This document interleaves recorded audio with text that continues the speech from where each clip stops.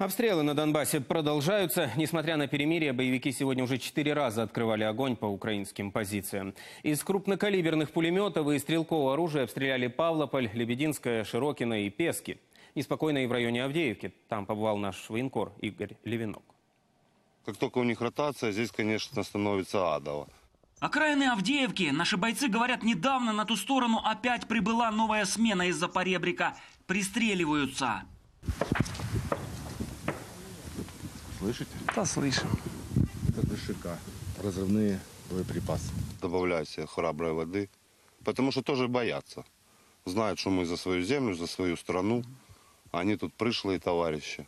Какое здесь перемирие, лучше всего может рассказать вот этот парень. Владимиру 22 года, родом из Кировоградской области. А это его каска, прострелена насквозь.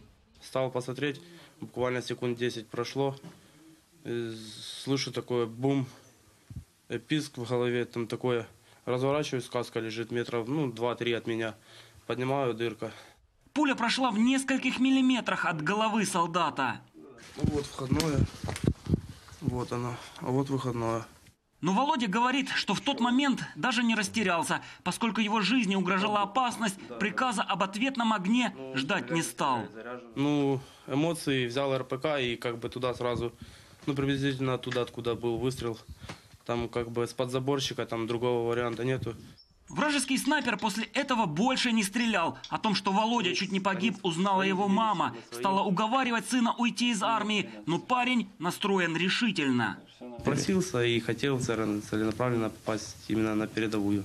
В этом году боец прошел курс обучения у американских военных инструкторов. Уходить из армии не собирается. Наоборот, планирует стать командиром. Еще послужу, пока если это все не закончится. А там хочу пойти на офицера.